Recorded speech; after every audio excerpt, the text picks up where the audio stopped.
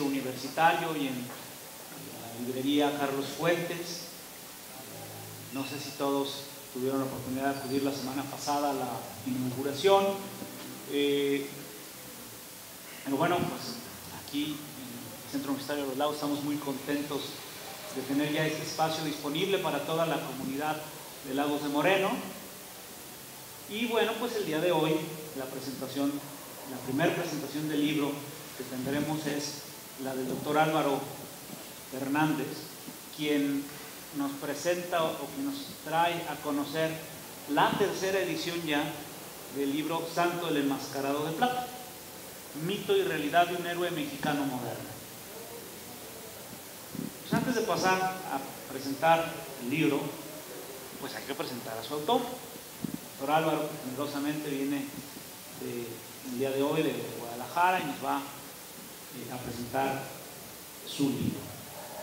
Miren, Álvaro Fernández pasó buena parte de su infancia disfrutando de los llamados churros, esas películas de bajo presupuesto que circulaban en videocassette y pasaban en televisión por cable. Bueno, yo la veía en televisión abierta, tenía cable. Cuando el futuro lo alcanzó, sin despojarse del espíritu de fan, se dedicó a la investigación de cine y de la cultura visual. Por ello se doctoró en el Colegio de Michoacán con una tesis publicada con el título de Crimen y Suspenso en el Cine Mexicano 1946-1955 y escribe tanto artículos como capítulos de libro sobre el mundo de las imágenes. Con los intereses puestos en estos campos, labora en el Departamento de Historia de nuestra propia Universidad de Guadalajara como profesor investigador y es miembro del Sistema Nacional de Investigadores. Es coordinador de la red, es coordinador general de la red de investigadores de cine Ready. Tengo entendido, fundaste. Sí. Entonces, es coordinador, fundador de esta red de investigadores de cine imparte cursos de cine en la licenciatura en Historia, en la maestría en Historia y en el doctorado en Historia.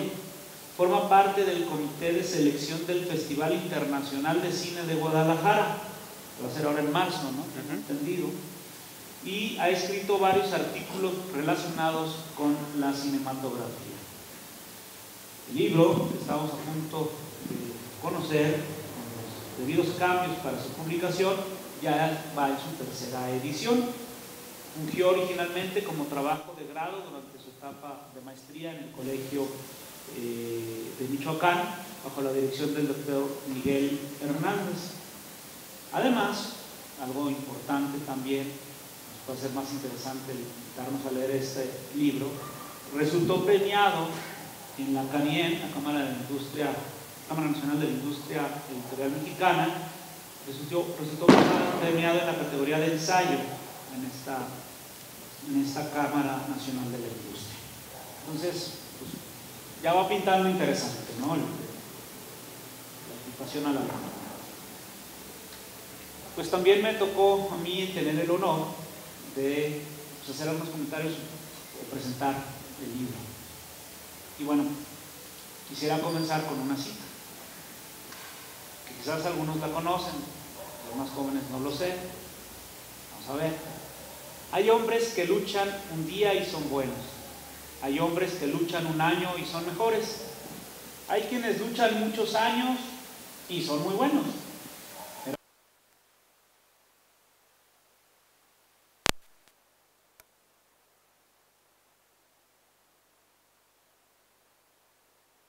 Botellita de Jerez, que fue eh, que salió a la venta en 1999, pues muestra claramente cómo el fenómeno del santo, que surge en los 40, 50, pues sigue formando parte de la cultura mexicana. El culto al héroe en el ideario colectivo con una amplia diversidad de atributos y funciones.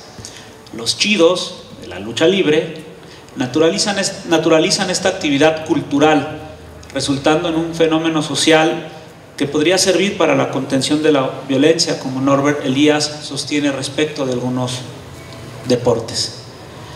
En la comunidad laguense, la lucha libre tiene un espacio significativo, ya que cuentan con varios exponentes de fama nacional, entre los que encontramos a los hermanos Dinamita. Carmelo Reyes, alias Cien Caras, que debutó en 1974. Jesús Reyes, alias Máscara Año 2000, que debutó en el 77. Andrés Reyes, Universo 2000, quien debutó en 1985 y lamentablemente falleció en 2017 a los 55 años de edad. Pero no todo fue gloria para todos los hermanos Reyes. Por desgracia, Rodolfo Reyes quedó afectado de sus facultades mentales tras una lesión al comienzo de su carrera.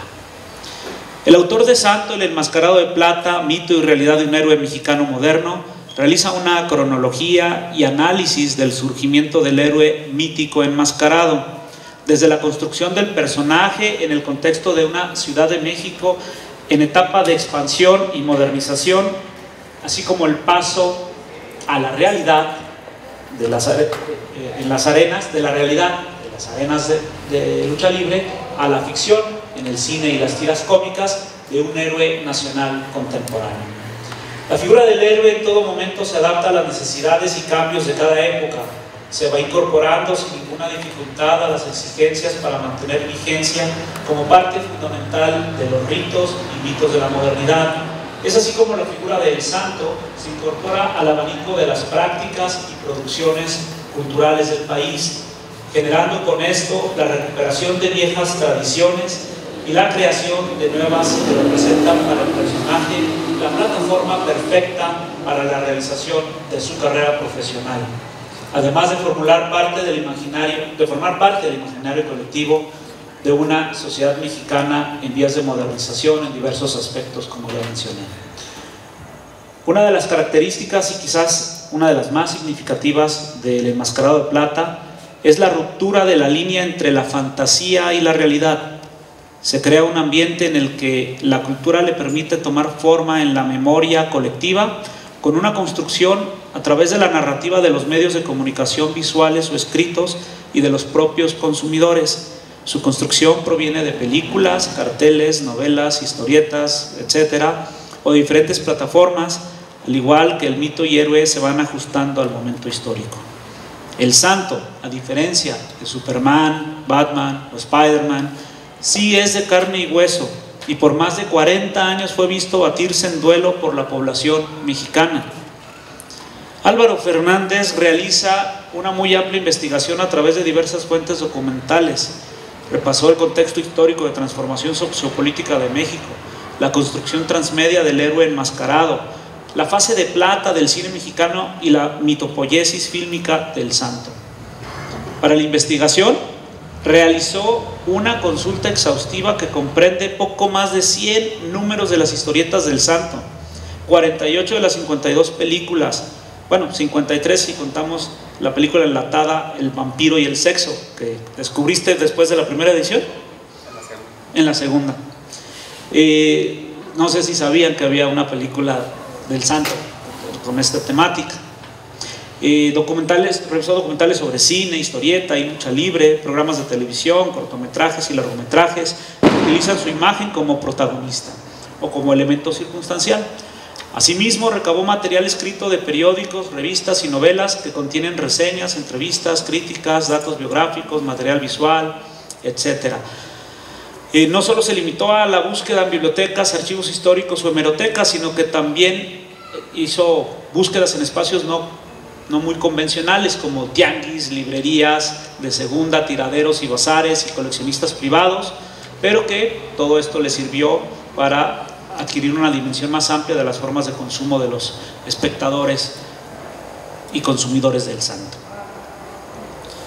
Y ahora, ¿qué tantos estudios con este rigor hay?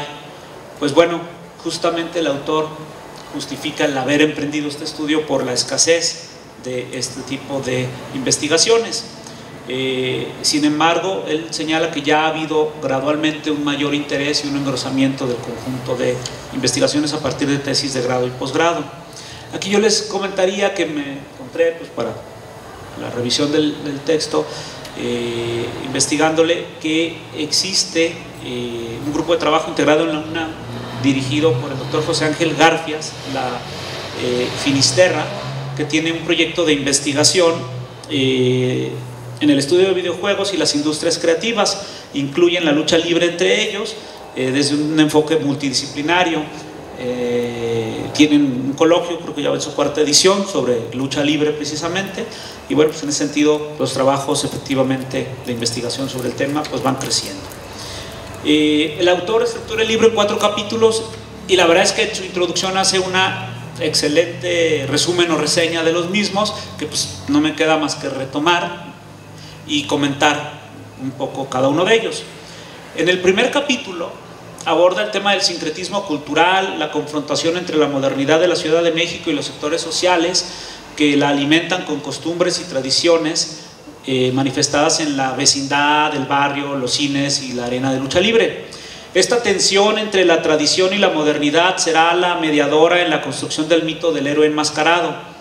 Asimismo, se retoman los crecientes medios de comunicación, formadores de las entrañas de la época y de nuevas mentalidades.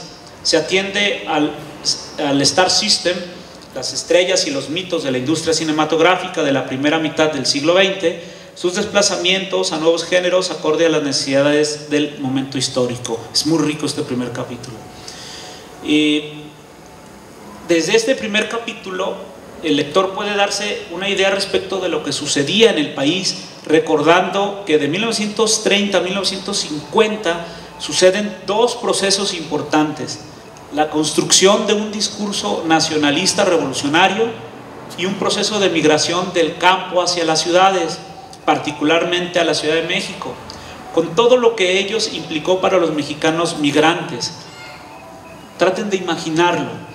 Ellos van de sus lugares de origen y se encuentran con patrones culturales diversos, provenientes de otros lugares rurales y de, diversas regiones del país, y entonces viene también para ellos la adopción de nuevos patrones culturales o la fusión de los propios con otros, la búsqueda de conservar sus tradiciones de origen, la confusión de valores y la difuminación de sus referentes morales. Esto es respecto de qué es bueno y qué es malo para ellos. Este aumento en la población de la capital del país se presenta como un reto y una oportunidad también para los creadores de cine y empresarios del entretenimiento y de los medios masivos. ¿Cómo van a llegar a los nuevos y crecientes grupos poblacionales? ¿Qué les atraerá? La respuesta que dieron en aquel entonces fue el desarrollo de dos íconos cinematográficos y que son más o menos bien conocidos por todos, el charro mexicano y el indio campesino, en los que se sustentó toda la época de oro del cine mexicano, muy marcada, no sé, pues por Pedro Infante y todas las películas de los, eh, de los charros o el indio Fernández, en fin. El segundo capítulo trata sobre el desplazamiento del héroe que circula entre la realidad y la ficción de la lucha libre y la historieta. Se ofrece un panorama sobre la creación de personajes de la lucha libre en nuestro país, un nuevo espacio propicio para la producción de mitologías. Brevemente se exponen datos biográficos del propio santo, de Rodolfo Guzmán Huerta, y del personaje concebido en las arenas. En este capítulo me sorprende el reporte que hace, por ejemplo, de la creatividad y la curiosidad de creadores de historietas, que llegaron incluso a producir 1.5 millones de historietas a la semana del santo. Imagínense lo que es producir todo eso. En el tercer capítulo se expone la importancia del enmascarado de plata para la industria cinematográfica. Se rastrea el surgimiento del cine de luchadores, su contemporánea ola de cine fantástico, en todo caso, lo que llamamos la época de plata de la cinematografía mexicana, momento en que la caída de la época de oro encontró un respiro con la producción de obras de escasa inversión y rápida recuperación económica. Si bien eran películas carentes de altos valores estéticos, fueron sumamente significativas para el espectador popular.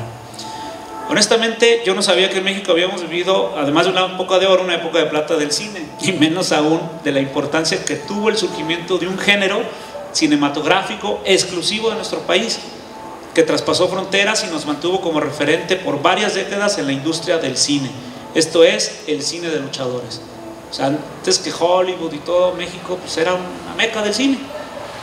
Y eso duró varias décadas.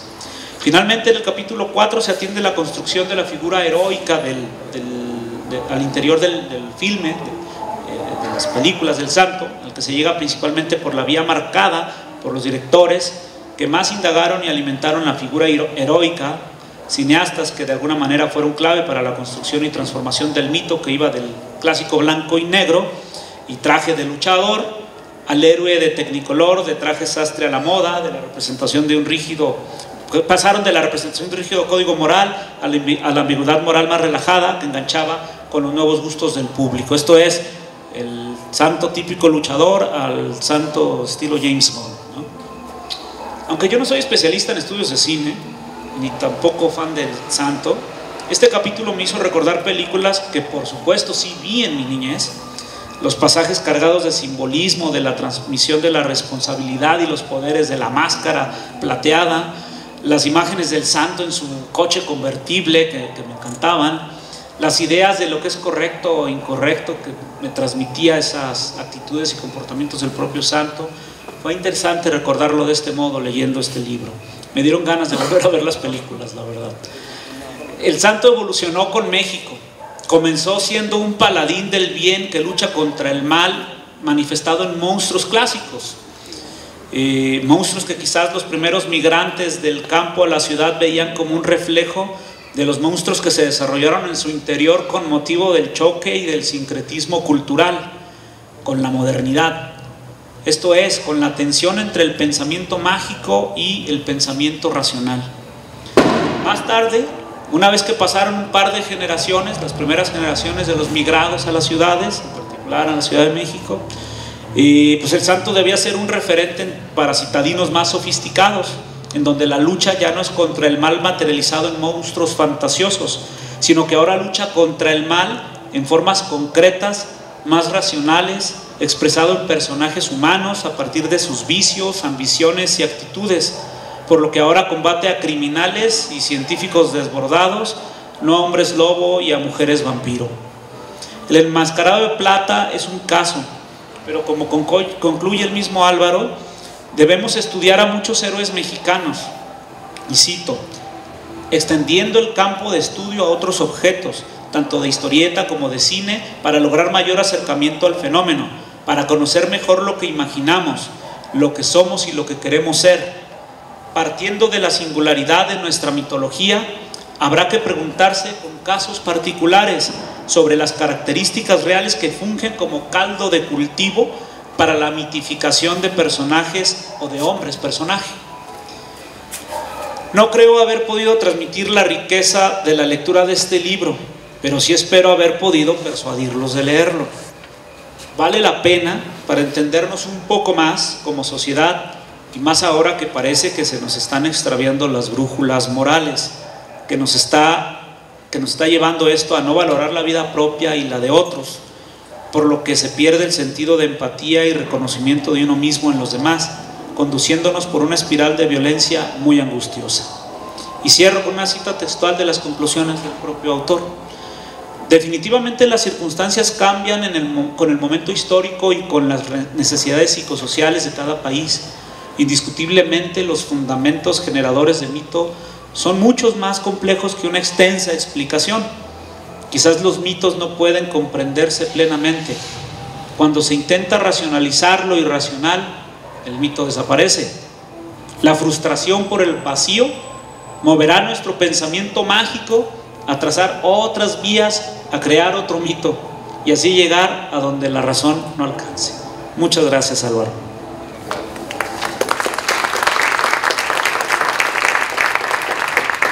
Perdón antes de pasar la palabra, obviamente, al doctor Álvaro y que nos pueda él, él va a ser más, más entretenido todavía que yo, porque evidentemente es el autor del libro, pero además nos trae preparadas algunas imágenes, porque algo muy rico del libro es que viene ilustrado con imágenes de la época, pero también es importante el, extenderles el agradecimiento por su asistencia y un saludo de, de, nuestro rector de centro universitario, quien personalmente pues, me encargó el poder invitar al doctor Álvaro y este, pues extenderles el saludo a todos los aquí presentes. Que por cierto que hay espacio para que no estén parados, por favor pasen para compartir este, ahora la exposición del doctor Álvaro. Entonces Álvaro, pues te escuchamos, te escuchamos con mucha atención. Muchísimas gracias Francisco. ¿Suena? ¿Sí se oye? ¿Sí? Ah, muchísimas gracias, eh, muchísimas gracias a, a Aristarco, muchísimas gracias a ti por la gestión y por la, la invitación. Muchísimas gracias a ustedes por venir eh, y, por, y para mí es un honor estar aquí sabiendo que es la primera, la primera presentación que se hace en esta librería que se ha inaugurado hace poco tiempo, por lo que, bueno, ya le damos un, plus a, la, traída de este libro y, a mi visita, eh, pero agradezco muchísimo que estén eh, aquí compartiendo esta presentación. creo que Voy a partir de una anécdota, en realidad traigo unas imágenes porque una colega y yo decíamos, las, presentaciones de, libro, de, libros sobre cine que no, traen imágenes o que no hay una imagen de fondo o clips o lo que sea, son espantosas. Yo, bueno, ok, me capté el mensaje, entonces traigo algunas imágenes, pero más o menos unas imágenes que tienen un orden y voy a partir del, origen. Eh, de este libro, eh, también ligando a la, manera que inició Francisco esta excelente lectura, que si no, no sabría qué decir, si no traigo estas imágenes, fue tan buena que no, o sea, rescataremos muchas cosas en, el, en, el, diálogo que tengamos al final, que es muy importante, y, pero por sí solas, pues repetiría mucho. En fin, eh, voy a partir de, de, esta anécdota de cuando yo quise entrar a una maestría en el Colegio de Michoacán, que era sobre estudios de las tradiciones, una de las líneas principales que vi, por eso me animé a ir, era la mitología. Eh, pero yo no tenía muy claro qué, estaba, qué quería hacer. Yo trabajaba un poco en publicidad, en publicidad, por ahí llegué a publicar algunas cosas en periódicos, pero no tenía muy claro ni siquiera qué era la investigación académica. Obviamente durante la licenciatura me acerqué a muchas lecturas y todo, pero era algo que no estaba en mi episteme eh, laboral. Eh, resultó que de pronto quise como suplir esa carencia en mi formación que yo sentía que tenía en la licenciatura y que quise una maestría. Eh, pero cuando llegué al Colegio de Michoacán con algunos otros temas, resultó que me dijeron, no, no, regrésate, yo estaba viviendo en la Ciudad de México en ese momento, regrésate y vuelve con una mejor propuesta para ver. Entonces me fui a caída y en esa búsqueda de cuál es el, mi tema de investigación, mi objeto de estudio, fui a un salón que se llamaba el Salón California, no sé si todavía existe, salón de baile. Eh, creo que todavía existe, son de esos salones donde van sonoras y, en la Ciudad de México. Eh, ¿Sí existe? Ah, bien, era una, era una fiesta que se hacía rememorando toda esta época de los años de la época de oro y, y de los años 60, no necesariamente de la época de oro, un poquito después y resultó que en el frente estaba tocando Botellita de Jerez, justamente el Guacarros del Santo. Después, en segundo plano, estaba, había gente del público y una mesa donde estaban los luchadores enmascarados. Ahí esos grandes semidioses de, carne y hueso, como los llamaba una antropóloga alemana, Janina Mobius. Eh, y después nosotros, todos los demás, y todos convivíamos como si no pasara nada, de la manera más más normal posible, con unos enmascarados, donde se rompía justamente esa línea entre la fantasía y la realidad y tenía eh, posibilidad de, vivir en un solo momento y en un solo espacio. Eh, eso me llamó mucho la atención y dije, bueno, este va a ser mi tema. Voy a trabajar, como a mí me gusta el cine, voy a trabajar el cine y voy a trabajar con el santo. Entonces me di a la tarea de buscar todo lo relacionado con el enmascarado, casi una obsesión. Eh, y me, dediqué a entrevistar gente, eh, entre ellos, bueno, este sujeto que está ahí, que estaba en la lagunilla, que decía, tenía un, un letrero en un puesto que decía, compro todo lo del santo, lo compraba muy barato y lo vendía carísimo, era muy buen comerciante. Eh, entrevisté a Luis Heimscher, el autor de esa, de esa pintura que había sido, estaba siendo becado por el FONCA para pintar solamente santos. Pero con él coincidí mucho en ideas y me despertó esta pasión lúdica por el objeto de estudio, porque en esta película, como en esta película, esta pintura, como pueden ver, está Godard dirigiendo al santo. Y Godard, como bien sabemos, es el patrono de la Nouvelle Vague francesa, eh, movimiento cinematográfico de los 60, donde rompían la gramática cinematográfica con una teoría de fondo muy intelectual y todo y, él, y Luis Hampshire decía, es que esto ocurre con el cine de luchadores. Rompen toda la gramática cinematográfica, pero por accidente. Y me gusta mucho esta representación porque parece que Godard está dirigiendo al santo, ¿no? Entonces, ese tipo de, de, experiencias que me estaban compartiendo otros productores culturales que se relacionaban con la imagen del santo me parecía fascinante. Entre ellas, pues está ahí el legendario, eh, el nuevo legendario, que era, por mucho tiempo fue publicidad para Bachoco. Eh, estaban, por supuesto, juguetes, por supuesto, platos como este que está aquí también, que era un plato de, de pozole eh, y se iba bajando el pozole, iban apareciendo mascaritas. En ese momento también había espectaculares en la Ciudad de México en la contienda electoral de La Bastida y Fox, mientras La Bastida tomó a, Calimán, eh, no, perdón, Fox tomó a Calimán, La Bastida tomó a Santo y había espectaculares en la Ciudad de México, en la Avenida Revolución, tengo una foto de alguno, donde aparecía el Hijo del Santo y decía yo apoyo a La Bastida. Entonces, Aquí estábamos hablando de un, de un objeto de, de, consumo y producción cultural, pero también política, también sujeto a ciertas dinámicas de la política. Eh, bueno, en esta exploración llegué a Tulancingo Hidalgo, donde nació Rodolfo Guzmán Huerta, el enmascarado de plata, que después sería el enmascarado de plata, y hay una calle incluso con, su nombre, hay había una estatua que después la quitaron y pusieron una de bronce más realista porque la gente se molestó decían que parecía más mascarita sagrada que el santo y que se iba a caer en las primeras lluvias y no sé qué, entonces la, la, quitaron. Y pusieron otra ya muy, muy, muy, con muy buena factura.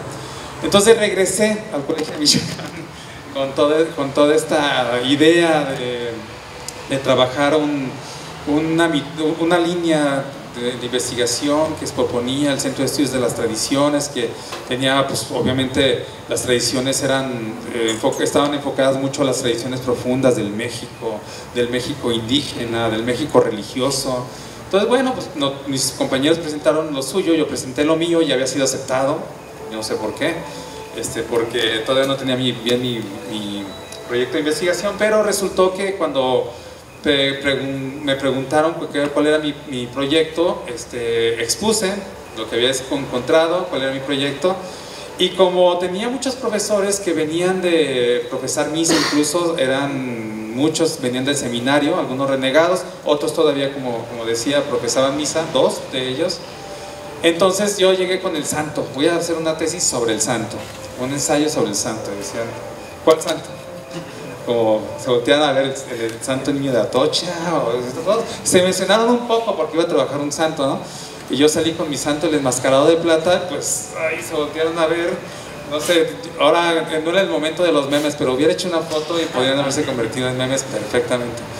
Eh, y fue muy interesante porque, muy interesante y muy desgastante porque pues a ellos les pareció un objeto no digno de investigación en un centro de, alta, de, altos estudios como el Colegio de Michoacán.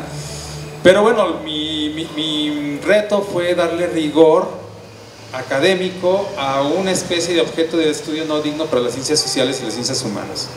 Entonces, bueno, me dediqué a, diseñar un problema y a plantear ciertas líneas que iba a seguir, que no es muy complicado, el problema de, de investigación que era una, una pregunta realmente abstracta, ¿Cómo se construye un mito moderno? De eso partí. Eh, bueno, ya era una pregunta verdaderamente interesante y difícil de responder.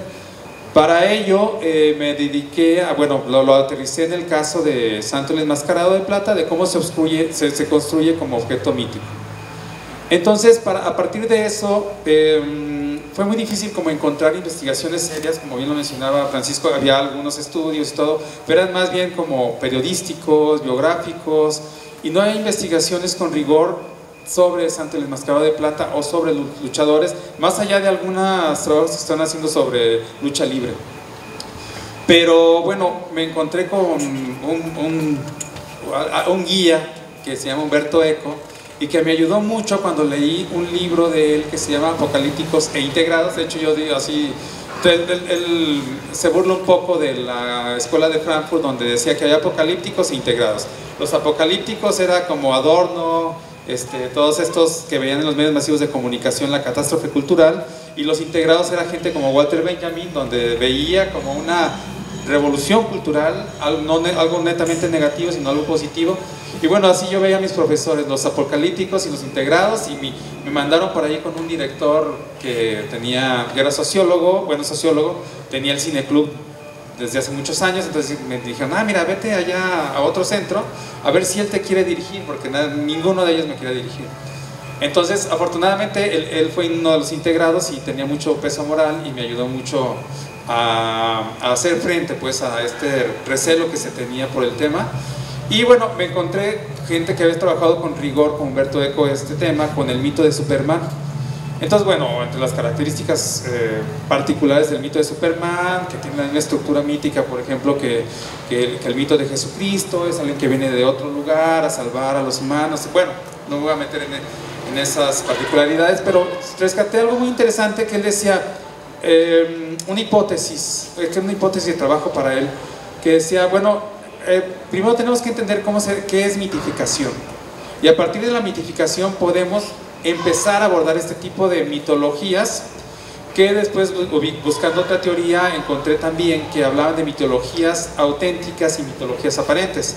Las auténticas eran pues los mitos de origen, los mitos religiosos, el más allá, de dónde viene el, hombre, eh, mitos donde se funda una nación, Tenochtitlan, etcétera, etcétera. Y los aparentes son los, mitos que están desacralizados, es decir, que han sido desmitificados durante la modernidad, sobre todo, y que se le ha descargado esa, justamente esa carga mítica, esa carga simbólica, perdón, que tenían como objetos sagrados. Entonces, eh, lo interesante de estas nuevas mitificaciones o estos mitos aparentes, o lo, que yo llamo mitos modernos, eh, era que eh, se, surgían de las entrañas de los medios masivos de comunicación y tenían una, estaban obviamente en una sociedad, en un proceso de, secularización muy importante, pero tenían una carga de, distintos, de distintas raíces que no eran propiamente religiosas. Vamos a ver que Santo sí tiene ese anclaje a la religión en un país mayoritariamente católico, una, una cultura muy fuerte del, cristianismo, y Santo por algo es santo, y por algo es plateado, y por algo es bueno, y por algo fue técnico, en fin. Bueno, lo, que iba es que el proceso de mitificación no, no significa otra cosa más que cómo se le va dando carga simbólica a un personaje, a un objeto, en un contexto social, en un momento determinado. Eso es todo. O sea, es un poco retórico, bueno, no retórico, es un poco complejo Humberto Eco, pero a grandes rasgos es eso. Me funcionó mucho para seguir la investigación y plantear estas líneas, la historieta, la lucha libre y el cine. Eh, obviamente ahí se daba el proceso de simbolización, pero no sería nada esto sin un contexto de modernización y modernidad mexicana que se estaba viviendo desde muchos aspectos. Ya se mencionó aquí la, migración, que fue elemental para entender este mito. Creo que es una de las claves interpretativas, ese choque entre la tradición y lo moderno, no solamente lo rural y lo urbano, sino la tradición en general y, lo, y, lo, y, lo y las tradiciones que estaban gestando modernas, este, y que el santo de alguna manera unificaría con su imagen simbólica ese choque entre un pueblo que estaba apegado a sus costumbres y tradiciones y esa idea de modernidad, de modernidad a la que se quería adscribir. Entonces, en este contexto, en estas tensiones que se daban, en estas líneas que seguían, eh, pues fue como fui construyendo las pistas para entender este, o claves para entender o interpretar este mito, ¿no? Y reconstruirlo. Pues bueno, en el contexto que estamos hablando, ya eh, mencionó muy bien Francisco esta eh, preponderancia por el nacionalismo cultural y tener como íconos, desde eh, incluso discursos políticos, se va a tomar al charro como ícono mexicano, o discursos eh, culturales, pictóricos, artísticos, como el indio, ¿no? Hablemos de todo el muralismo y, muchas otras cosas, el cine, no se diga, aquí está allá en el Rancho Grande, eh, donde se coinciden las clases sociales, donde se, México se proyecta como industria una potencia industrial cinematográfica y como una, un imaginario que va a, va, a, tener como cierta penetración en Sudamérica y en España eh, y en otros lugares por supuesto. Eh, bueno, eh, en, este, en esta ola migratoria es muy importante porque este, esta flechita donde está ese niño señalado es justamente santo cuando llega a la Ciudad de México donde entré en la lucha libre, donde, bueno, en ese momento estaba en secundaria, algo así, se van justamente por los bienes y servicios que ofrece una ciudad y que no eh, existían en su natal Tulancingo Hidalgo. Eh, entonces, por problemas de salud de su madre, se tienen todos que emigrar, todos los hijos, a, la Ciudad de México. Y pues él anda de aquí para allá, este, estudiando después en la adolescencia o un poquito más grande, estudió en la Academia de San Carlos pintura, trabajaba en una fábrica de medias, eh, pero siempre estuvo dedicándose al deporte. Este, su madre le puso, dice que le, le puso un ultimátum y le dijo, si no haces algo de tu vida, ya te vas de la casa. Entonces se dedicó realmente a estudiar eh, lucha libre, intercolegial, bueno, ya todas las técnicas, y se subió, subió al ring en los, a finales de los años 30 con varios nombres, hasta que eh, sube, bueno, quiero hablar del contexto de la lucha libre que tiene su época de oro, o su época industrial, mejor dicho, durante los años 30, cuando después de que había un combate a ras de piso con atletas que nada más eran atletas y no tenían una máscara o un atuendo, sino simplemente un traje de deportista, este, se enfrentaban. Eh, hubo una, una transformación a introducirle a la lucha libre el elemento dramático y el elemento espectacular teatral, que fue la lucha del viento infernal. En este momento ya se empiezan a llamar espantos, ya se empiezan a llamar diablos, ángel, etcétera, etcétera, y empiezan a, dar una carga moral a los personajes y al enfrentamiento en el pancracio. A la par, la lucha libre, a partir de 1973, eh, con un empresario muy empieza a cultivar mucho la, la, lucha libre aérea.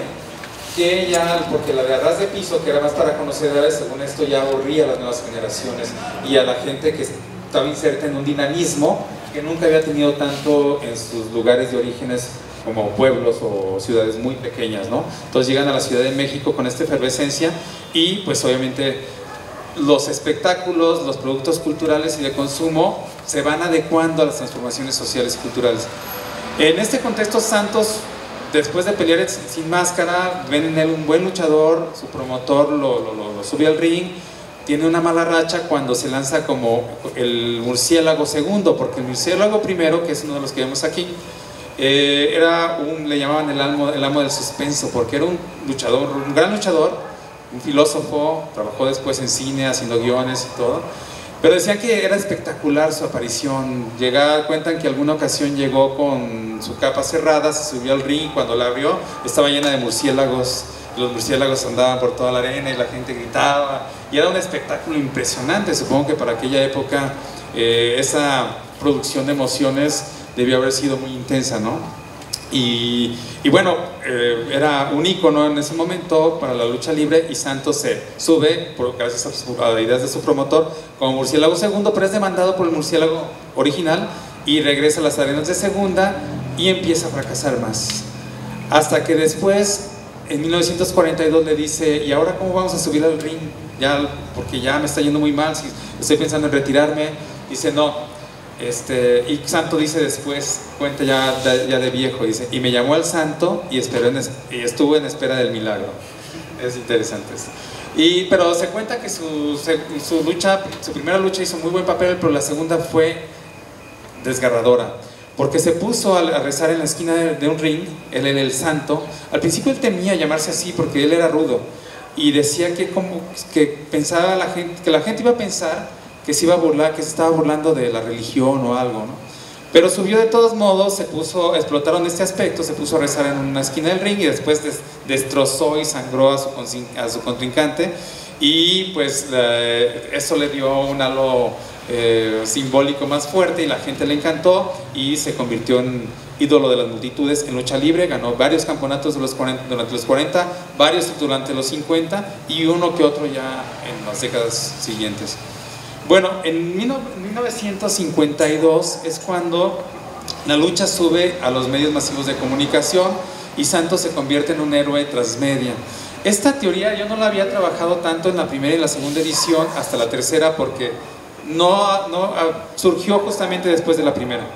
Eh, o más bien se, se, socializó después de la primera, o se dio a conocer de la, de la primera edición, que fue a mediados de, del 2000, la segunda fue en 2012 y esta en 2019.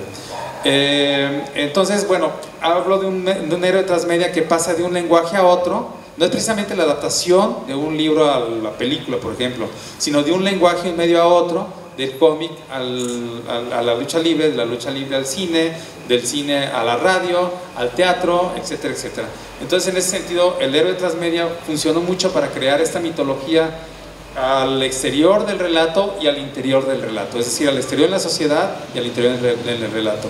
Y es en, este momento cuando sube, em, perdón, cuando sube al papel de historieta y José G. Cruz, que era un creador de historietas, de, era una industria lo que él hacía, eh, ve en el santo un personaje que puede dejar bastante ganancias económicas y comienza con el primer número de historieta en la contraportada a rezarle a la Virgen de Guadalupe. Ahí esta vez está posicionando y relacionándolo con una cultura muy inteligente. El santo le reza a la Virgen de Guadalupe, es, eh, digamos, bendecido por ella y tiene un éxito rotundo, como mencionaste. Eh, sacaban tres, tres eh, historias a la semana y en suma eran pues, un millón y medio más o menos de, números impresos. El, se sacaban lunes, jueves y sábado. Eh, la historieta para este momento es un fenómeno en México que merece ser eh, estudiado profundamente porque pensemos nada más en esta historieta. O sea, José Cruz tenía muchas otras historietas. Y a, la par de él había otros industriales de la historieta. Pero nada más hablemos de Santo. Eh, salían tres números de historieta a la semana. Eh, una sola historieta se pasaba casi a toda la familia. Y cuando no, se rentaban, se, cuenta que se rentaban ahí en las vecindades o en las, en las colonias a los vecinos. Y los vecinos a su vez la pasaban a toda la familia entonces estamos hablando que en ese momento, además de la lucha libre, para el contacto que tuvo la gente con Santo fue de millones y millones de, personas, fue, impresionante. Obviamente después empieza a, bajar la, por los cambios socioculturales y de consumo empieza a bajar la producción, la televisión también, el cine, el cambio del gusto del público, muchos, muchos factores. Eh, pero lo interesante es que coincide también con la subida de las películas a, la pantalla, perdón, de la lucha libre a la pantalla. En ese momento se hacen las primeras cuatro películas de luchadores y una de ellas es con el, enmascarado de plata, se llama el enmascarado de plata, en, en, un momento vuelvo a ello, pero nada más quiero decir también de la historieta que llegó a tener tanto éxito que contrataron guionistas que escribían automáticamente como los surrealistas.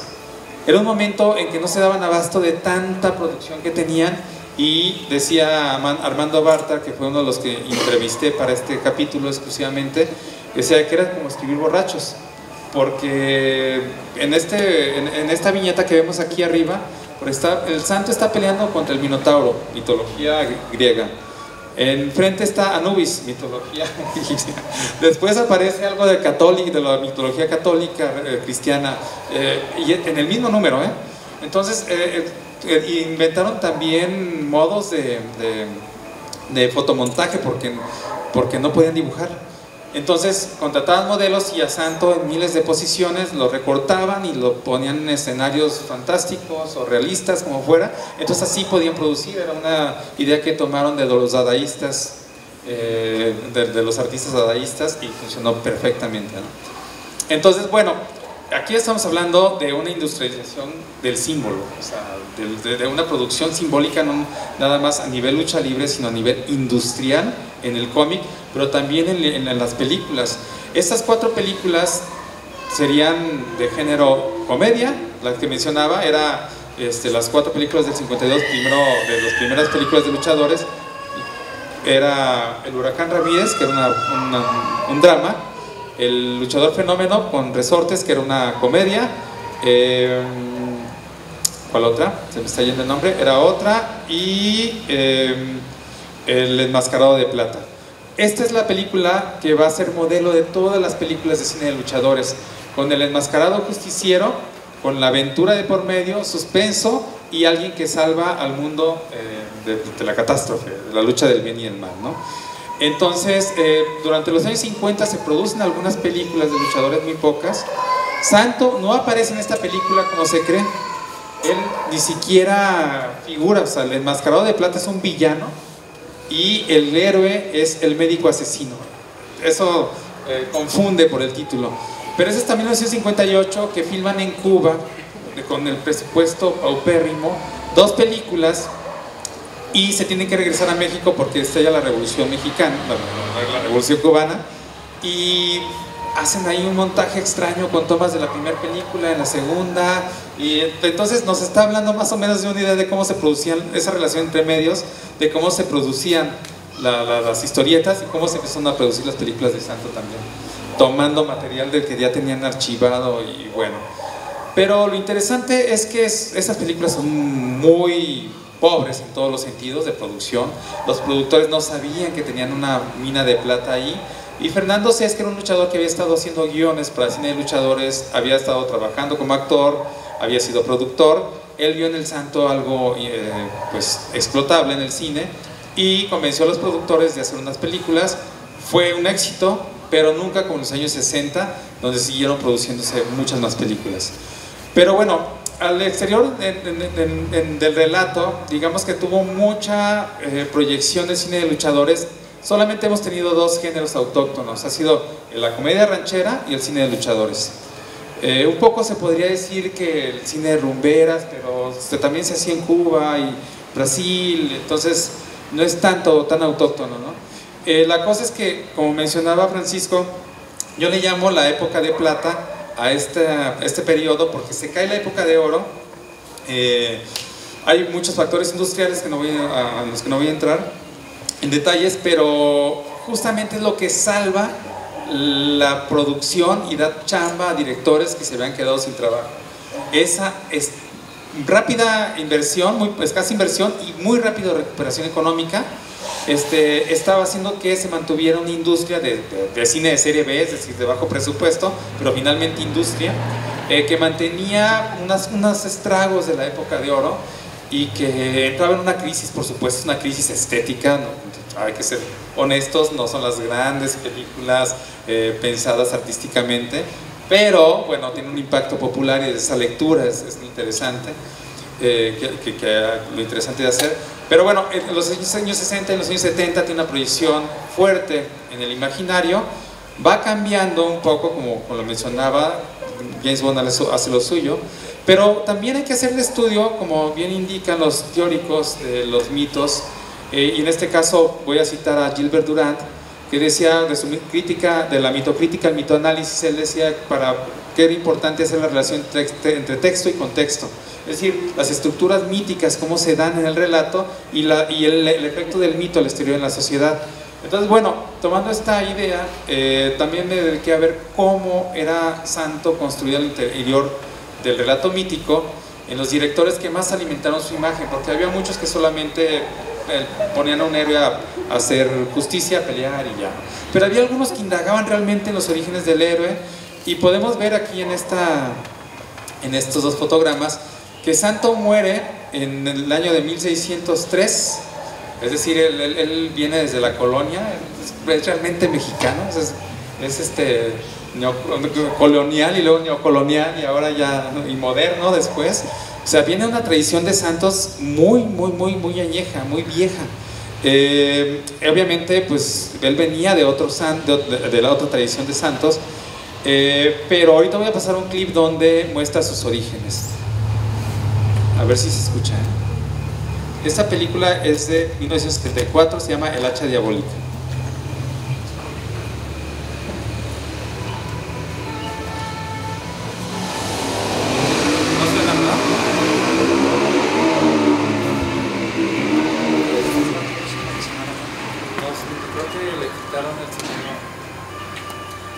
podrían ayudar a poner el sonido de las bocinas, por favor? Sí, para, por, por.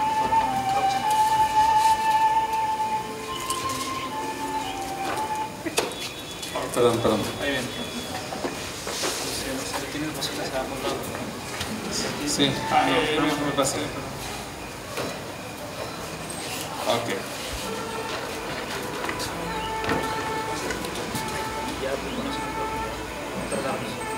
micrófono a la bocina de aquí.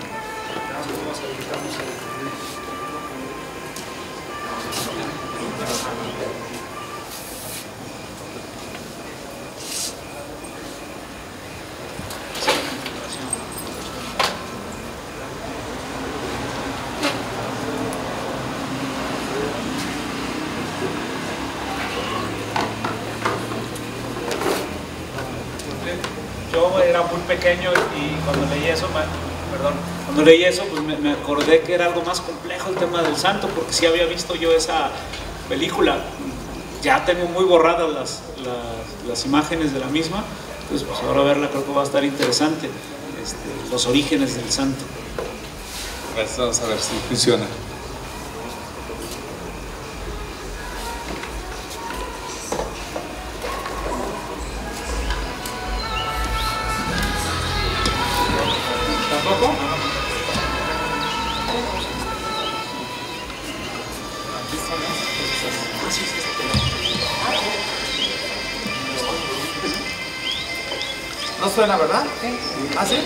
吃个夜宵吃夜我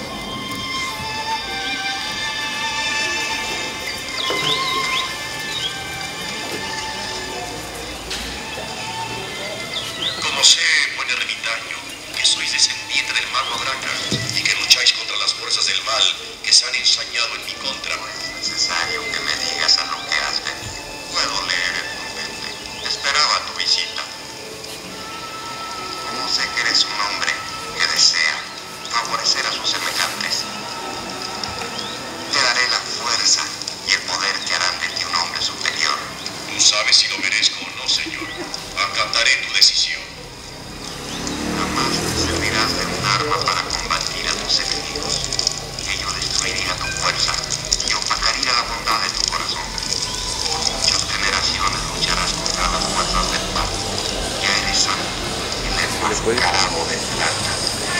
¿Pero dónde encontraré a Isabel? A su hora la encontrarás. Isabel ya no pertenece a este ti.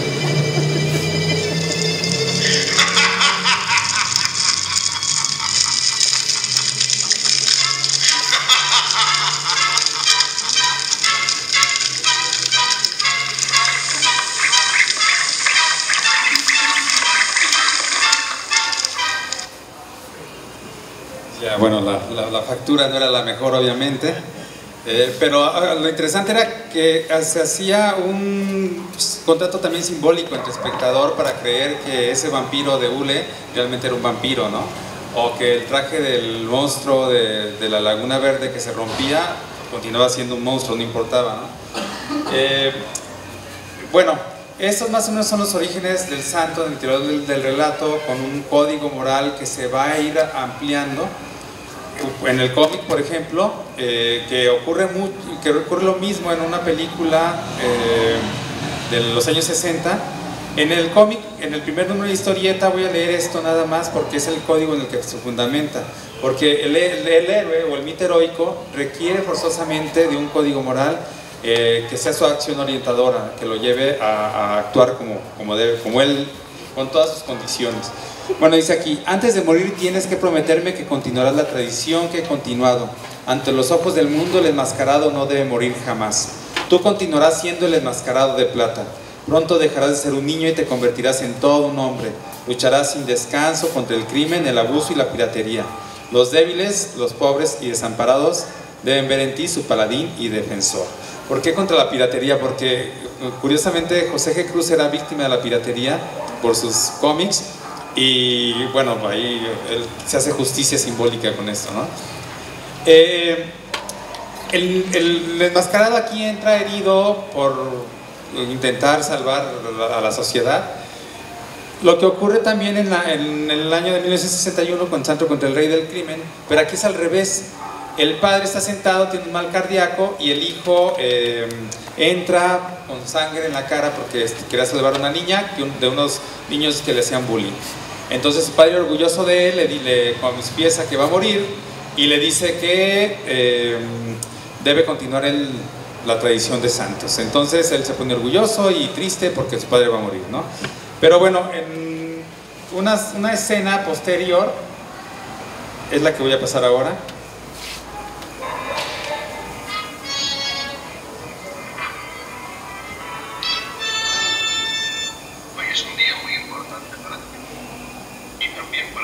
¿Se oye?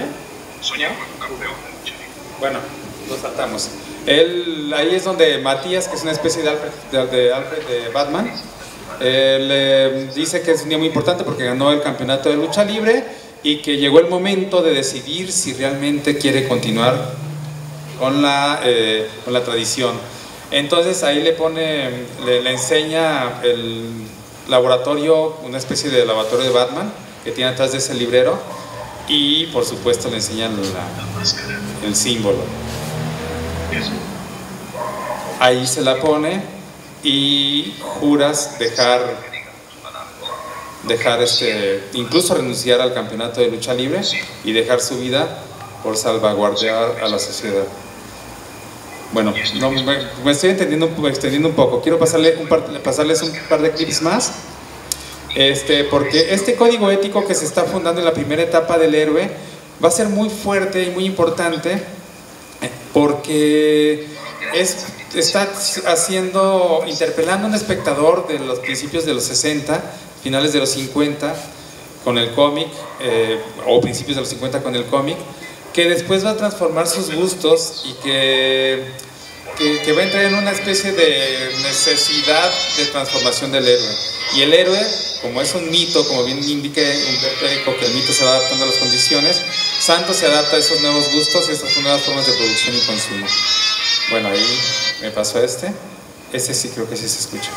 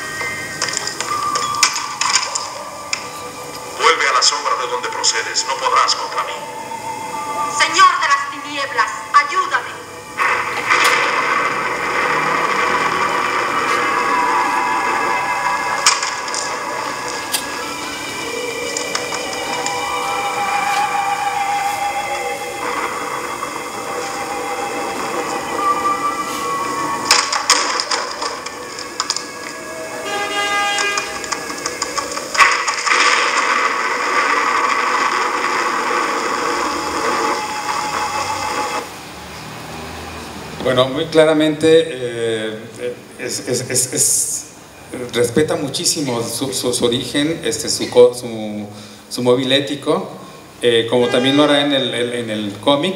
Hay una interacción, este historieta es más o menos de la, de la misma época, pero cuando va cambiando es cuando James Bond ya ha tenido cerca, no sé, casi una decena de novelas, eh, varias películas que han tenido un éxito a nivel global. Y como Santo también era un héroe en ocasiones que se adaptaba como eh, peleador contra, luchador contra los monstruos, pero se adaptaba también a luchar contra los asesinos eh, mundiales de la televisión, o lo, hay títulos como el asesino de la televisión, o contra espías internacionales, etcétera, etcétera. Y él era un espía internacional en ocasiones. Pues cambia un poquito su código moral para los nuevos espectadores que ya han crecido y que ya son adolescentes, más calenturientos, este, y que ahí y, y que ve películas como estas. No lo hagas. Si en lugar de estar entrenando sigo aquí conmigo, más probable es que lo pierda. La gente nos ve a veces. Por eso escogí esta playa desierta. ¿Cuándo te quitarás la máscara para que te conozca? Si lo hiciera, le quitaría todas las notas al cuerpo. Creí que eras más modesto, Santo. Ah, no lo crees. Ahora verás.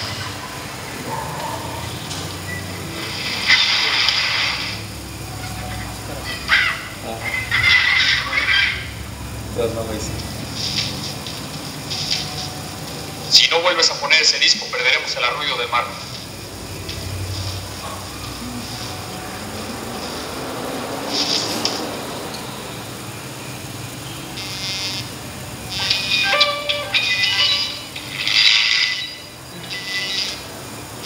Lo siento, preciosas, pero se acabaron las vacaciones. Vístanse ya. Uy, tan divertidas como estábamos.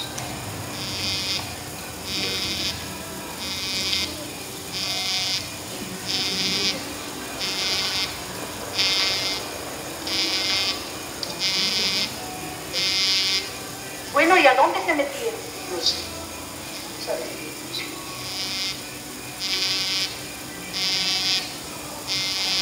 Bueno, este es el momento justo de la transformación del héroe en blanco y negro que usaba capa, mallas, eh, botas, al héroe de Technicolor que usaba traje sastre o ropa a la moda, más a la James Bond. eh, y que había una tensión todavía porque, por ejemplo, en esta película que es El vampiro y el sexo, eh, hubo un- un- una tensión entre el productor Calde- Calderón Steel y Santo por si esta película que se produjo como primero como Santo en el Tesoro de Drácula para público, mexi- público mexicano se iba a exhibir El vampiro y el sexo que era la doble versión para público mexicano y quedaron en que no, que era un código de caballeros, una autocensura eh, y que solamente se iba a exhibir en el extranjero. Eh, cabe decir que en el, en el momento en que hice la primera edición y estaba arreglando la segunda, esta película, que parecía ser una leyenda cinematográfica, apareció de pronto, gracias a la sobrina nieta del, del productor que encontró en las bodegas eh, de, eh, de familiares estas latas con la película, la restauró y en 2011 la proyectaron en la Cineteca y en el Festival de Cine de Guadalajara. Eh, fue el hallazgo más in- interesante que ha habido desde la primera edición hasta la tercera. Esta cinta porque en ese momento se proyectaba, eh, bueno, existían los carteles en el- para España, para Alemania, para Turquía, Francia, etcétera, pero no- no- nunca se supo si realmente se exhibieron o no. Digo, es una labor que, de investigación que hay que hacer y acaban de publicar en Inglaterra un artículo sobre esta película. Eh, pero de la segunda a la tercera edición, creo que el hallazgo más significativo fue esta novela, que es la primera novela escrita eh, por un, eh, de aventuras, escrita por un jalisciense, que se llama El Misterioso, y que es un enmascarado que vive en una cueva y que se dedica a salvar a la gente de, a, la, gente del, de la villanía, ¿no? de los perversos y todo. Eh, yo aquí diría, como digo en la nota de la tercera edición, que cualquiera con poca imaginación encontraría aquí los arquetipos de no solamente de Santos, sino de Batman y todos los superhéroes de Marvel, y DC, y Zorro, y, no sé. Entonces, eh, es interesante, esta novela se publicó a principio, bueno, en 1930 por ahí, 1830, perdón, pero está contextualizada en 1700, eh, a finales de 1700. Eh, entonces, bueno, creo que son los hallazgos más significativos, la segunda y la tercera. Debo decir que la tercera eh, fue un, una iniciativa de, también de la Universidad de Guadalajara, de la editorial universitaria, por, bueno, ya se va a llamar Editorial Universidad de Guadalajara, por eh, que el libro fuera más para público general. Entonces se convirtió, el, digamos, el discurso escrito un poco más eh, de divulgación. La, cambió considerablemente la, la, introducción, la estructura es más o menos la misma, aunque modifiqué casi todos los capítulos en momentos. Eh, y bueno, tiene otro diseño, obviamente. Eh, de la primera a la segunda sí fue más significativo incluso en estructura, porque la primera tiene capítulos que la segunda no tiene. Eh, y siempre pues con el afán de ir mejorando, ¿no? Eh, aunque siempre pues los coleccionistas gustan de la primera edición. Eso es incuestionable. Bueno, para finalizar y entablar un diálogo, creo que va a ser lo más interesante que, que, que, que cualquier cosa que yo diga. Eh, voy a dejarlos con un clip que dura un, más de un minuto pues, para emocionarnos y, y, y darles ánimos para que, para que pregunten o comenten.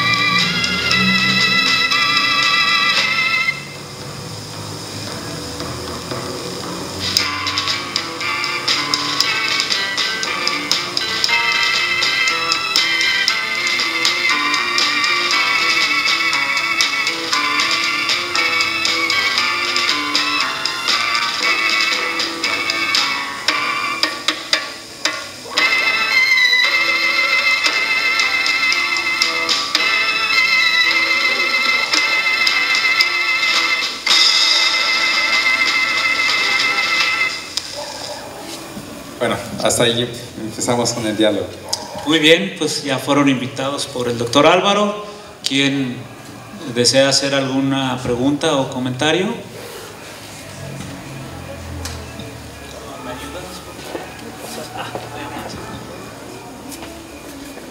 Bueno, en su análisis de, del arquetipo de, del santo, eh, bueno, me toca varias partes de la generación, de su evolución, de cómo es de rudo a técnico, pero también veo una similitud muy, se ve, eh, por ejemplo, el, el, fenómeno de los Power Rangers, los monstruos también son así como de que de escasos recursos, de, agarras unos vasos y les haces unos ojos y ahí están.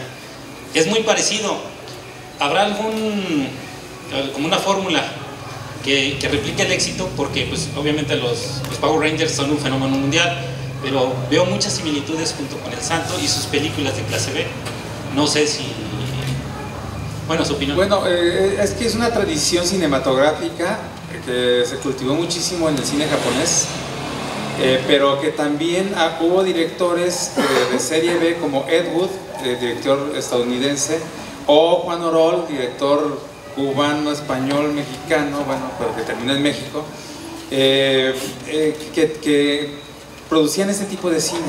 En Juan Orol, por ejemplo, es mítica la escena donde unos gángsters se disparan contra otros y hay espejos atrás y nunca se rompen. ¿no? Hay una balacera así de dos minutos y no se rompe un solo espejo. Entonces era, era como ese tipo de, películas que gustaban al público, pero que no les, interesa, no les importaba tanto esa, esa sensación de realidad del efecto especial como hacer un contrato simbólico para la ver- verosimilitud, que es otra categoría, digamos, que funcionaba muy bien para, este, para el, enlace entre el público y, y estas películas.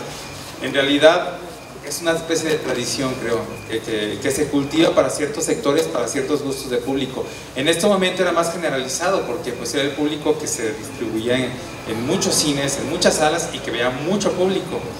Eh, y obviamente la exigencia a la puesta en escena era mínima. O sea, no, exigían tanto un artificio bien hecho, un estilo impecable, como ir a vivir un ritual cinematográfico donde se podían gritar unos a otros, gritarle al santo, eh, en el intermedio correr los niños, eh, irse a luchar en, el intermedio también adelante de los cines. Eh, era como un ritual que ahora no existe, pues ahora existe más con cierto tipo de pro- proyecciones cinematográficas, pero en el cine pues los códigos actuales son de "Oye, silencio, no hables, no interrumpas, y en ese momento para estas películas eh, creo que hay una interacción muy, muy, muy agitada y muy constante. Mm, Bueno, y ahora que menciona el- todo el código de, de- en el que se basa la leyenda, la, la magia del santo, ¿cree que vaya desapareci- desapareciendo porque ahora los antihéroes son la moda? De- tenemos el caso del Joker, que se, no sé si se traduzca a una identificación de la gente con los problemas que tienen este, los antihéroes y que en esa época todo era más blanco y negro y ahora son tonalidades grises y curiosamente el villano es el que tiene una riqueza narrativa más, más grande. Entonces las limitaciones del héroe, bueno, en el caso de Santo, bueno, me ha tocado que pues, o ahorita es un icono del, pop, de, de lo que sea, aunque no haya visto nadie este, sus películas, su imagen como es como un tótem, un, un ítem muy, muy grande. Eh, ¿Cree que prevalezca o se estanque? Creo que el Hijo del Santo hizo unos, unos dibujos animados, pero más allá no, no he visto una producción que, que igual pudiera retomar ese misticismo que tiene. No, no, en realidad, o sea, como actualizar el mito, digamos, el relato mítico, eh, creo que está estancado, bien lo, lo has mencionado. Eh, el maniqueísmo fue muy fuerte casi hasta los años 80. Eh, por ahí, en los años 70, rompió un poco con eso algunas cinematografías, algo en los 60, pero era más cine moderno para élites ilustradas. Pero en el cine popular el maniqueísmo pre- prevaleció hasta los años 80 y creo que tiene también que ver con una condición de la cultura que va pasando de la posmodernidad a lo que no sé ahora que estemos viviendo, donde hay un relativismo absoluto y se caen las ideologías y los relatos, los grandes relatos que explican las verdades universales desaparecen, ¿no? Entonces es justamente cuando el, el antihéroe cobra mayor relevancia y las tonalidades como dices también, ya no son blanco y negro, sino hay una gama de grises impresionante y el guasón puede ser un personaje bien acabado, es un, héroe, trágico o un antihéroe trágico, pero creo que no se, no se, nunca se actualizó el santo. Hay una línea así muy delgada, yo, es una pregunta que siempre me hago. Si dijera una película del santo, por ejemplo, ¿a quién se le pediría que lo hiciera? A Guillermo del Toro. Eh, en segundo lugar, ¿qué estética eh, eh, se elegiría? ¿La de a color, la de blanco y negro, la del santo, la del santo luchador o la del santo James Bond? Porque ambas pues, son muy representativas en el imaginario y en la, moda retro y en esa nostalgia por el pasado que se tiene. Eh, pero creo que hay, un agotamiento en la manera de, recurrir al relato, pero no en su imagen. Su imagen ha sido res- resignificada, resegmentizada, eh, actualizada en muchos aspectos. Y la podemos ver en- desde bares hasta museos, hasta cine, qué sé yo. No sé. Bueno, igual, hasta las frases, ¿no? Esas de que está tan fea que ponle una máscara del santo. Sí, ¿no? Sí, sí, sí, no, ha, ha formado parte de- de- del imaginario, ha formado parte, de- pues, obviamente es uno de los mitos principales de, la cultura mexicana, de estos mitos aparentes. eh, y es un mito que tiene, hay que entender varias claves interpretativas. Una sería, por ejemplo, la ruptura de la fantasía y la realidad, una de las más importantes. Eh, la estrechez que logra de, unir eh, generaciones sería otra. La relación que tiene entre la industria cultural, medios masivos de comunicación, arte y cultura popular. Eh, otra sería que en su momento, cuando estuve haciendo entrevistas, me decían, tú no vas a encontrar a nadie que hable mal del santo. Y en efecto, nadie me hablaba mal del santo como persona. Entonces había una relación entre personaje y persona muy interesante también. Otra sería, por ejemplo, bueno, el carisma, que sería algo que, que estudiar. El carisma que tenía, porque Blue Demon era mejor luchador, Blue Demon tenía mejor cuerpo, pero se llamaba Blue, Blue Demon, o sea, era un demonio azul. No tenía el carisma del santo, sus compañeros no lo querían y le llamaban el profesor. O sea, no, Blue Demon no cobraba, no dejaba de cobrar, como Santo sí lo hacía por eh, a- apoyar a un compañero en una campaña de lucha libre, ¿no? Eh, y así, este, otra cosa que yo diría por eso eh, es signo y símbolo de la, de la modernidad que logra unificar esto, es porque Santo tiene tanto los valores eh, tradicionales, sobre todo religiosos, es la plata que purifica, el metal que purifica los, los demonios, este símbolo de pureza, de rectitud, tiene muchos símbolos para el cristianismo, eh, pero es el santo, es el santo y no es un demonio, este, y todas estas eh, relaciones iconográficas que tenía con la iconografía cristiana y católica sobre todo, pues le dan una dimensión distinta para un pueblo que, que, insisto, estaba suspendido entre la tradición y la modernidad, pero que nunca dejó de ser este, eh, guadalupano. O sea, puede dejar de ser lo que sea, pero no guadalupano. Y, y, bueno, este tipo de explotaciones de los símbolos que, que entran en un periodo de la, de la, industrialización de símbolos y del consumo masivo de los símbolos es donde se inserta este personaje. Ahora lo que estamos viviendo es un relativismo absoluto y es una nostalgia por el pasado por, justamente por la carencia de íconos. Y nuestra iconografía puede ser eh, alguien como el Guasón eh, y aún así, pues Re, re, representar ciertos valores que estamos viviendo actualmente. Porque un símbolo de esta naturaleza, que es un héroe recto, un mito heroico, heroico de los medios masivos de comunicación, este, atiende a las necesidades de su época, a los temores, las aspiraciones y los deseos. Este, y en ese sentido es, es importante anclarlo a su contexto sociocultural y ver el contexto sociocultural para ver cómo se inserta texto y contexto. Este, y bueno, volviendo al tema que planteas, pues sí, vivimos en una carencia de iconos absolutos, ¿no? O una, no sé si una carencia, sino una mega proliferación de ico, iconográfica que nos representa muchos, que, que representa demasiado a demasiados sectores y a demasiados grupos. Y no hay alguien que nos represente tanto como en su momento representó Santo a las culturas populares, ¿no? Por ejemplo. Y bueno, en la cuestión narrativa, ¿creen que se haya eliminado el ritual de que el bueno vence al malo y vas al bote y el, antihéroe plantea, yo para qué me desgasto, vas a seguir matando, mejor te mato. O sea, esa es la parte, no sé si la narrativa que se esté agotando, que los niños digan, ah, es lo mismo, no sé, este, es un, es un baile, una coreografía lo que hacen ustedes y cada semana tú vas al, a la cárcel. Pero el antihéroe dice, no, dice, tú eres malo, ya no vas a cambiar, te mato. Eh, por ejemplo, Punisher, Wolverine, eh, que van pasando este, esta narrativa. Bueno, claro, pero también pensemos en, algo tan ingenuo como Santo. Este, también mataba a todos sus, sus villanos, o sea, realmente no los metían a la cárcel. Y esto, esto tiene que ver con justamente la mitología, un, que, una larga tradición, no sé, milenaria, con la mitología clásica incluso. O sea, los, seres, eh, los mitos heroicos mataban a sus oponentes. Y es justamente lo que hacen ese tipo de mitos. O sea, yo no veo, o sea, ¿qué es lo que hace Batman? O sea, los mete a Arkham, al, manicomio, al asilo, este, pero luego salen peor, ¿no? Eh, y es un atentado más fuerte contra la sociedad. En realidad también los, el Batman que tiene ese conflicto moral los mata.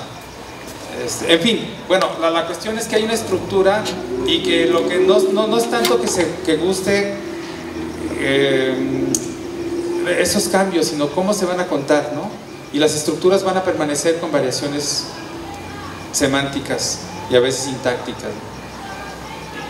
No sé si alguien quiere su voz. No, era, era, a veces metían su voz por equivocación, pero regularmente era Víctor Alcocer el que le doblaba la voz. Sí, cuando no podían y, y había salido algo mal, ya metían la voz de santo. Sí, ese tipo de revelaciones hay aquí. okay. Ahí está, ah, perdón, ¿Ah, este, sí? para antes de eh, que continuemos, eh, también por la presentación, los libros que se traen aquí y se compran durante la presentación están más eh, baratos. ¿no? Su precio normal es de 260 pesos, aquí los van a poder encontrar en 200 pesos. Y hay muchas revelaciones de detalle como estas, ¿no? Eh, por otro lado, yo tendría, bueno, no sé, antes, ¿alguien más? Y, ah, Pedro, y luego yo quisiera también preguntar algo. Álvaro, yo te quería preguntar, esta es la tercera edición y, y, bueno, comentabas que esta edición está más enfocada a la divulgación, o bueno, digamos, está escrita más hacia la divulgación que como el texto inicial, que era más como el, trabajo de investigación de tu tesis de, de posgrado. Eh, yo te quería preguntar respecto a esta evolución del texto. Primero, a ti, o sea, ¿qué sensación te deja la evolución que ha tenido tu texto de ser quizás algo más con un, bueno, tú lo mencionaste, ¿no? Le diste a un tema que no identificaban con un rigor académico, le diste el rigor académico para presentarlo. Y ahora siento, quizás, no sé, como que va en un camino de, vuelta. Y me surge el tema también porque creo que en general este, en la divulgación de los trabajos científicos o en la publicación de los trabajos científicos, como que quizás también va un camino hacia allá. En el verano escuché a un joven que presentaba una, eh, una investigación que hizo en el Delfín, un joven de, de, licenciatura, sobre una revista de investigación de la Universidad Virtual en educación. Y él estudió un poco como eh, la sintaxis y la gramática que se presentaba en, en la revista. Y él, él, él, comentaba eso también en sus conclusiones, o sea, que al final eh, eh, los textos eh, de alguna manera eran más vernáculos, por así decirlo, de, alguna manera, o sea, pasaban de ser más técnicos a que fueran de una comprensión más generalizada. Entonces yo te quería preguntar, ¿qué sientes con respe respecto a la evolución de tu texto en, esta nueva edición? porque también pensaba, quizás un historiador tendría que buscar la primera edición si quiere encontrar esos aspectos metodológicos, no sé, de, la, de rigor, pero a lo mejor muchos más tendremos más accesible este nuevo texto. Sí, bueno, eh, podría decir que es eh, no sé, el, el, el, la investigación el objeto de estudio al que más cariño le he tenido, ¿no? que me ha perseguido por toda mi vida académica y, y, que después del santo inmediatamente estuve trabajando otra cosa completamente dedicada a cine eh, y que a nadie le interesó. me seguían invitando para cosas del santo y yo decía, bueno, yo estoy trabajando otra cosa, ¿no? El santo. Y después el santo y me persigue el santo y me persigue. Bueno, eh, yo sentí una deuda con la primera edición eh, porque encontré distintas cosas, varias cosas en este inter y salió la segunda edición. La segunda edición fue un poquito más accesible en materia de lenguaje, de, de, de estructura académica, de, de, más bien de retórica académica, y este, como bien lo mencionas, pues es más de divulgación. A mí me gusta mucho más esta idea que está tomando la editorial universitaria en general, los, discursos científicos en revistas, porque me he dado cuenta pues, en este tiempo que tengo como académico, que muchas veces nos hablamos para un grupito nada más cerrado y nuestro, nuestra producción del conocimiento queda entre un sector. Entonces la, la, la virtud de, de, estilo y de, y de tema de investigación de este libro es que yo siento que logró en buena medida unir las dos cosas. Es decir, hay cierto rigor académico, pero hay, lo podía leer hasta mi abuela, ¿no? Y la, la vecina. Y sobre todo este. Eh, y también lo puede leer un académico. Entonces, el- lo que yo intenté no quitarle todo el rigor tampoco, porque me decían, quita todas las citas. Yo, no, no, no, tampoco se trata de eso. ¿sabes? Es como, bueno, también, quiero que le lea un académico y que diga, bueno, aquí está la referencia, ¿no? ¿Cuál es la, la- la- la teoría, que, el marco teórico, etcétera? Pero lo que siento es, es que ya es un libro como que está dejando de, de ser mi libro y es un libro que está que necesariamente tiene que divulgarse, ¿no? Que seguramente vendrá otro con una mejor propuesta y una divulgación mayor, pero por lo pronto me gustaría, por ejemplo, tomar este ejemplo para mi siguiente publicación, que fuera un libro, no, o sea, obviamente con rigor académico, pero que llegue a ese nivel de, de- de- de ligereza pues en el discurso.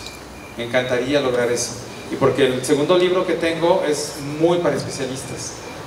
Me, me gustó mucho, era una investigación más madura, pero aún así el cariño la pasión. Es que este libro lo, lo- lo escribí con mucha pasión y con mucha ignorancia. Realmente no sabía hacia dónde iba y todo eso, y todo fue como mucho, muy intuitivo. Esa cuestión de la metodología y los, los modelos teóricos y metodológicos que te enseñan para cómo investigar, de pronto yo los rompía y me vi la intuición. La intuición me decía, vete por acá y me iba por acá y tuvo buenos resultados. Este, entonces, bueno, es más bien eso, ¿no? Es mucho cariño, simplemente. Lo que siento es que ese gusto por decir, ya, bueno, ya este libro ya, ya, ya no es mío, pues nada. Ya la tercera edición ya más es, es la deuda que estoy saldando con los lectores, ¿no? Gracias por la pregunta, interesante, no me la había hecho. ¿Hay algún otro comentario o pregunta? Bueno, pues una última relacionada con la pregunta que ya, ya te hicieron, porque ah, creo, y como yo lo- ya lo dije en la, en la presentación, yo no soy especialista ni en cine, ni en mitos, semiótica, ni fan del santo. Pero ah, no sé hasta dónde eh, una parte de la población más joven que todavía podría estar en contacto con el santo lo tiene más como una moda retro, no como un mito.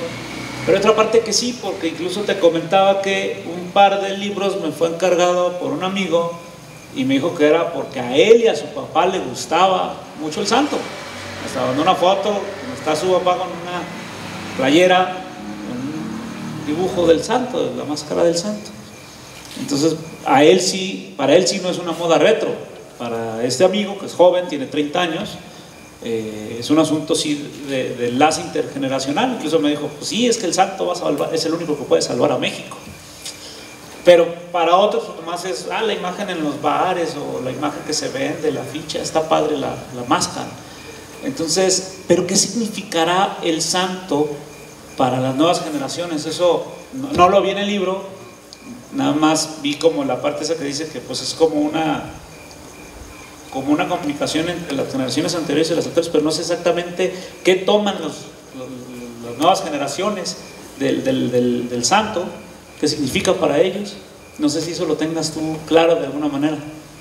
No, no lo tengo claro. Y es, es una deuda y es una pregunta que pues, realmente cuando termin- terminé y la, la primera, segunda y tercera edición siguen preguntas rondando en mi cabeza.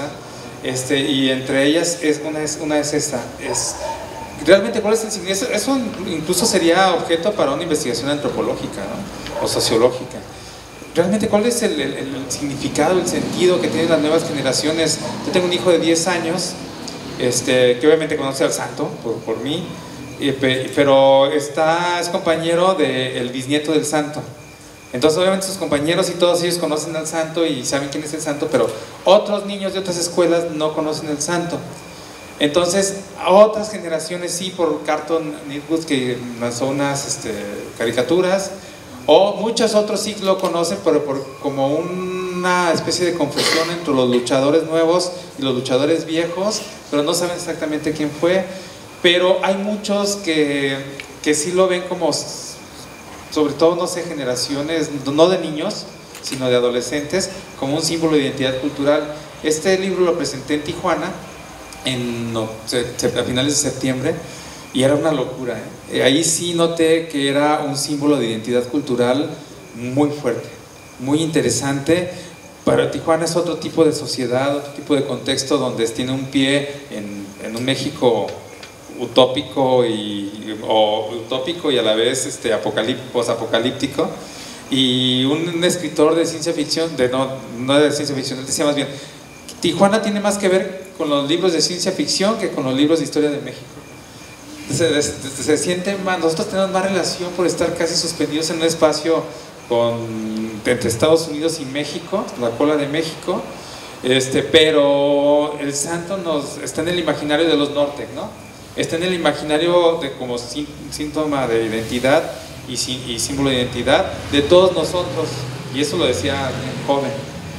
Entonces, bueno, quizá es un sector, quizá es un sector del público, un sector social, pero hay otras personas que pues ya lo han, perdido como símbolo, ¿no? que para muchas generaciones pues, habrá que esperar algunos efectos de, nuevas, de estas nuevas generaciones de niños a ver qué pasa, o de adolescentes. En realidad es un estudio que que queda pendiente. A ver si algún sociólogo, politólogo se lo quiere aventar. Bien, no, pues, pues, no sé si no hay algún otro comentario, una pregunta. Este, yo vuelvo a agradecer a Aristarco, vuelvo a agradecer a Francisco, vuelvo a agradecer a, la, Universidad, a Culagos, eh, vuelvo, vuelvo, a agradecer también a la librería este, y a ustedes sobre todo pues haber este, dejado de hacer cosas por venir a la presentación del libro. Y pues, gracias. Están, están los libros disponibles. Muchísimas gracias a todos. Un aplauso, por favor, al doctor Álvaro Fernández. Y bueno, pues los invitamos a que puedan tocar los libros. Se les antojó, pues también que lo puedan comprar. Y si por algo no traen dinero hoy, pues aquí ya hay en la librería cuando gusten venir a comprar este o cualquier otro libro que, les interese. Gracias a todos, muy buenas noches, hay cafecito y un poco de botana ahí.